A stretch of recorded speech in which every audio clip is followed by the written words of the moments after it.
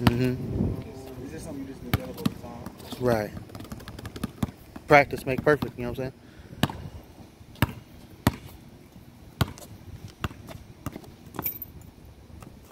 He got a shot because that's all we used to practice on was just shooting free throws. You know what I'm saying? Yeah. Yeah, it was forever.